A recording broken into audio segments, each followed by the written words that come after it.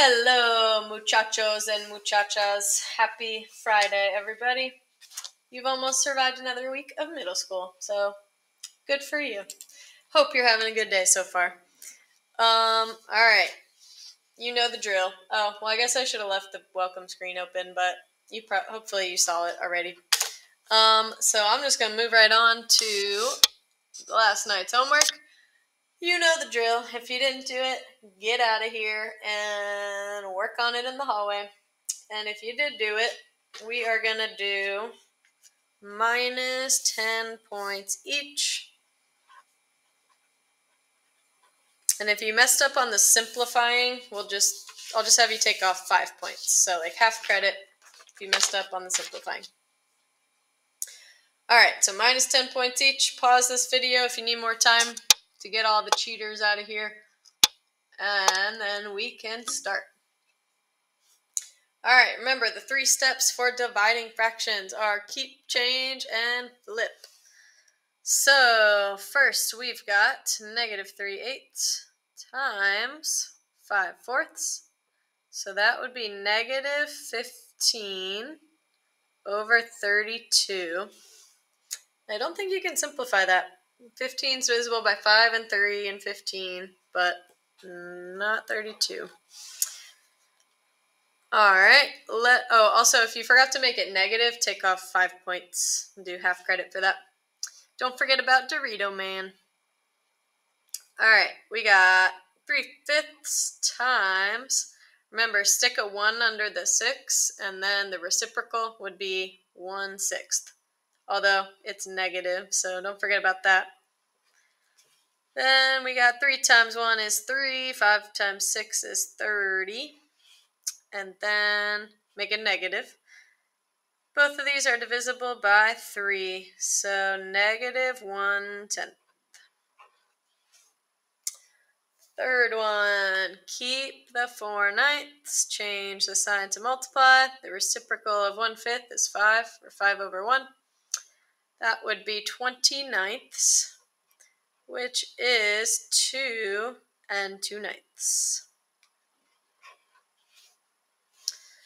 Letter D, stick a 1 under the 4. I'm just going to drop the negatives because I know a negative divided by negative is positive. So who needs them? Keep, change, flip. Um, 4 times 7, 28. 6 times 1 is 6.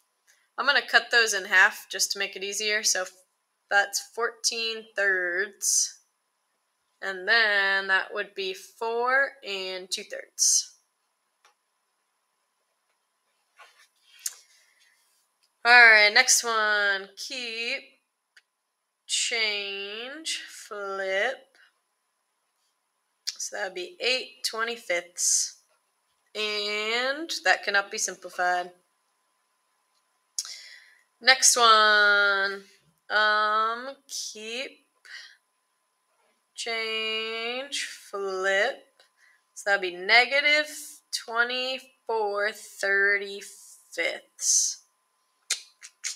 Trying to think. I don't think you can simplify it because 24 is divisible by 2 and 12 and 3 and 8 and 6 and 4. But I don't think 35 is. So correct me if I'm wrong, but I'm going with that. All right, next one. Keep, change, flip. 3 times 3 is 9. 5 times 2 is 10. 9 tenths. Next one's a negative divided by negative, so I'll just pretend like they're all positive. So keep, change, stick a 1 under it, flip, that's 1 third.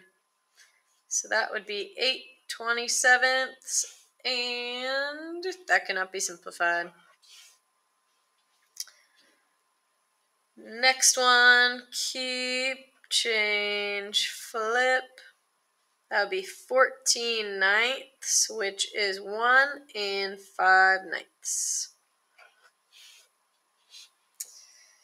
All right, word problem. Amanda uses two thirds of a cup of sugar for each batch of cookies that she makes. If she has four cups of sugar, how many batches of cookies can she make? So basically, you got to figure out how many two thirds are in 4.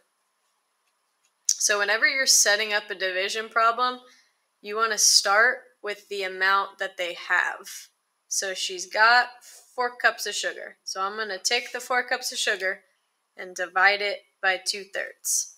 That way you can figure out how many 2 thirds are in 4. If you did 2 thirds divided by 4, you would get a different answer. So we'll work on that when I get back, setting it up correctly. But if you did set it up correctly, it would be 4 over 1, keep, change, flip. Then that would be 12 over 2, which is just 6. So 6 batches.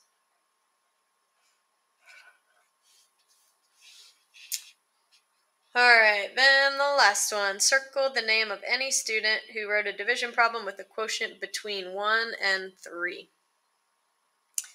Let's see. Keep, change, flip. That'll be 3 over 2, which is 1 and a half. So that's between 1 and 3. Um, Andrew, keep, change, flip. That'd be 7 tenths. That's less than 1, so that's not going to work. This one, keep, change, flip. That would be 18 eighths. Simplify it, 9 fourths. I'm almost out of room, but that would be 2 and 1 fourth, I think. So that's between 1 and 3. So Trayvon and Lily. Alright, so minus 10 for each of those. Minus 5 if you messed up on the negative or simplifying, something like that. So go to your blue sheet and fill in the second to last row. And you can pause this for however long you need until you're ready for the warm up.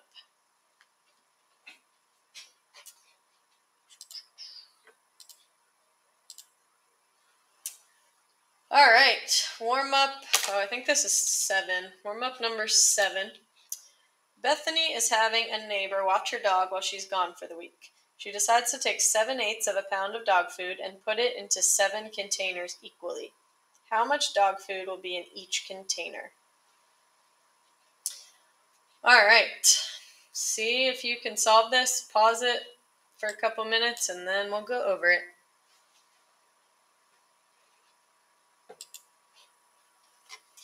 All right, so let's see. Here's what she has. She has seven eighths of Ooh, I don't want white. Let's do red. She has 7 eighths of a pound of dog food, splitting it into seven containers. So that means you're going to do 7 eighths divided by 7. So I'm going to keep, I'm going to change, I'm going to flip. Boom, boom, boom. Multiply straight across. 7 56ths. And then what are both of these numbers divisible by? They can both be divided by 7. So then that would give you 1 eighth. This is kind of easy if you think about it though. Like if you have 7 eighths split into 7, 1 eighth. So that was easier than I even thought it would be. Um, make sure you guys label your units too. Seven eighths of a pound. So you can just put LB. All right, you can put your blue sheet and your homework in your folder and then take out your notebook because we need to finish the notes from the past couple days where we left the bottom of it blank. So let me go to the multiplying fractions notes. Whenever you guys are ready, we're going to fill in the last two questions on that.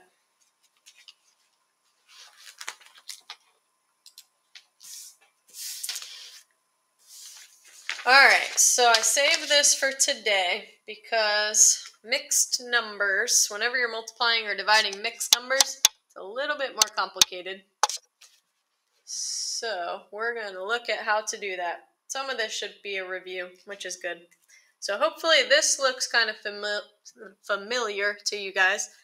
If you have a mixed number and you want to turn it into an improper fraction, Some teachers call it the Texas two step. I kind of got used to calling it that. Texas two step is basically where you do these two things. You multiply these two numbers, so 7 times 1, and then you add the numerator. So 7 times 1 is 7, plus 4 is 11. And then you just keep your denominator the same. So we're going to need to do this every time we see a mixed number in a multiplication problem. You're going to need to turn it into an improper fraction. So let's practice on these ones first. Let's do 5 times 3, 15, plus 2 is 17. And then keep your denominator the same. So 17 fifths. So 3 and 2 fifths and 17 fifths are the exact same number, just in different forms. Let's try this one. 6 times 4, 24. Plus 5, 29. Keep the denominator, so 29 sixths. This one, 4 times 1 is 4. Plus 1 is 5 fourths. This one, 3 times 2 is 6. Plus 2 is 8. 8 thirds. So, let me show you when we're going to use this. So down here, we have a multiplication problem with a mixed number in it. So before we can actually start multiplying, we have to turn this into an improper fraction. So let's take the 6 times 1, that's 6, plus 1, that would be 7 sixths, but it's negative. So negative 7 sixths times 1 fourth. So now we can multiply. 7 times 1 is 7. 6 times 4 is 24. And then Dorito Man says that's going to be a negative so unfortunately, like some people think it's super easy. You would just do 6 times 4, 24. 1 times 1 is 1, and then keep the 1. But that is not going to get you the right answer. You've got to convert the mixed number into an improper fraction before you can multiply. So that's just an extra step we got to add to it. All right, this one we got two mixed numbers. So we need to turn both of these into improper fractions.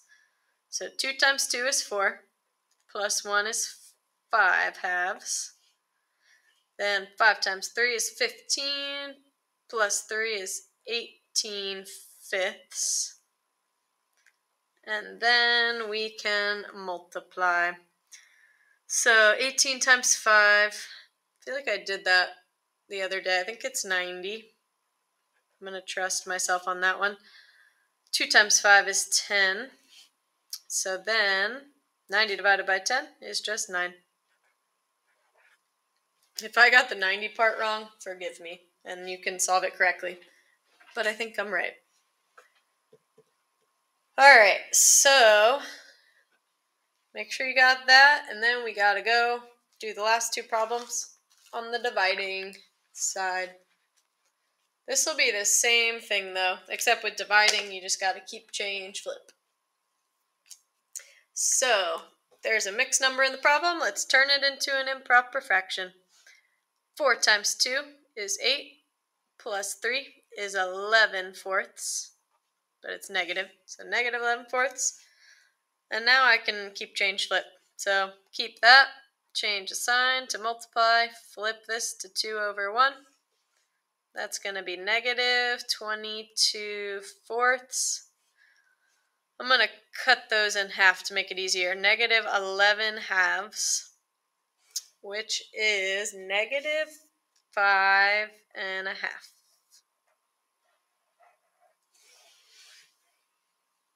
And you can always check it too, like real quick, just do 2 times 5 is 10, plus 1 is 11. Yep, it matches. All right, this one we got 10 and a half divided by 3 fourths. So 2 times 10 20 plus 1, 21 halves. And then just keep that, change the sign, flip this. The reciprocal is 4 thirds. 21 times 4 is 84. 2 times 3 is 6. I know these are even, so let me cut them in half. Uh, that's 42 and 3. Feel like 42 is divisible by 3. Let me check. 42 divided by 3 is nice, 14. Ah, so that means 42 divided by 3 is just 14 wholes. So we are done. So pause this if you need to. Make sure you got everything filled in on the multiplying and the dividing fractions notes. And then you guys can put your notebook away. You will just need a pencil for the rest of class. All right, so next thing we're going to look at is a recipe because a lot of recipes have fractions in them. So this is an example of a chicken pot pie recipe. We got pastry dough, vegetables, butter, salt and pepper, and chicken. I feel like this is pretty basic. I don't know if it would actually come out good. But it says it serves two people. So in real life, like if people are making recipes, a lot of times they mess with the recipes a little bit to serve however many people they need. So a common thing would be to double the recipe, so you could serve four people, or half the recipe if you're just serving one person. Then I just made up a random one, make two thirds of the recipe, um, just to practice. So if we're going to double the recipe, we would multiply everything by two. feel like it would probably just be easier to add it twice. So you could do like two and one fourth plus two and one fourth to double that. Two and a half plus two and a half, one fourth plus one fourth. You get the idea. If you're going to half the recipe, obviously that means you're going to divide it by two. But if you think about it, that also is the same thing as multiplying it by a half. So, for example, if I'm trying to do 2 and 1 fourth divided by 2, if I'm trying to half that, I would do keep change flip, and then it would be two and a half times a half. So you're basically just going to be multiplying each of these by a half. And then if you're making two thirds of the recipe, remember yesterday I told you of means multiply.